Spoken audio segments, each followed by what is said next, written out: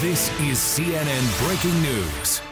Welcome back. Uh, breaking news now out of Florida. We're hearing reports of an explosion in the town of Plantation. Uh, Polo Sandoval joining me now. Polo, looking at these images, it appears to be a portion of a strip mall there in Plantation, Florida.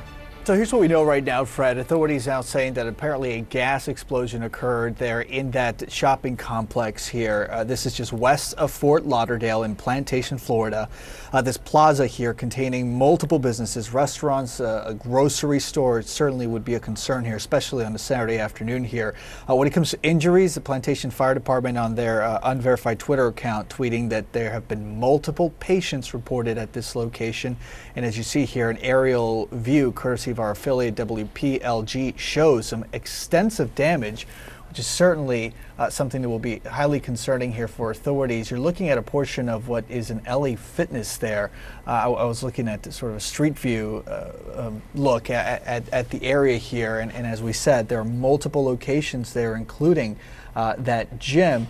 At this point, authorities are simply asking that people stay away from the region as they have been working to see now for uh, close to an hour and a half or so, but it really is um, quite dramatic scenes right now, live scenes that we're seeing coming out of Plantation, Florida, where again, authorities there in that Florida community reporting an apparent gas explosion at a shopping center. This again in uh, Plantation, Florida, just west of Fort Lauderdale, uh, Fred. We're going to stay in touch with authorities as soon as we hear more.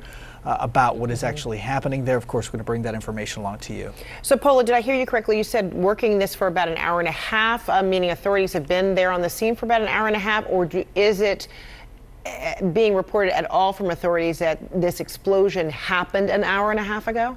The initial tweet, Fred, was posted about three hours ago by the Plantation Fire Department, and in their own words, a gas explosion that was reported on the 800 block of Southern University Drive.